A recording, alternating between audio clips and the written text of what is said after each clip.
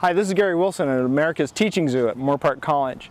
She'd like to, she'd like to play with me, but she can't through the wires. Everyone knows that the male lion looks a lot different than the female lion. The male has a big mane and they're much larger than the females. That's because the male has a different role in the pride than the female does. Of course, the female catches most of the food and raises the cubs.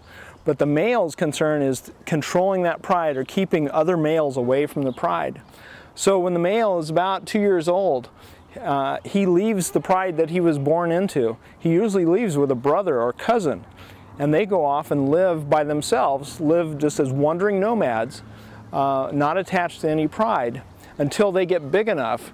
When they're about eight years old, then they'll come back and find a pride that they can take over. And that big mane is helps them in fighting they come in and they fight to take over control of the pride and drive out the males that are already there. And the mane helps protect their neck. And then once, of course, they're in control of the pride, then their job is to mate with the females and produce more lions. The pride may be eight to 10 uh, female lions and it's not that they pair up one male to one female. In fact, all the males will get the mate with all the females. And the female can produce uh, a litter of cubs. She might have four or six cubs in a litter, and they actually can have different fathers in that same litter.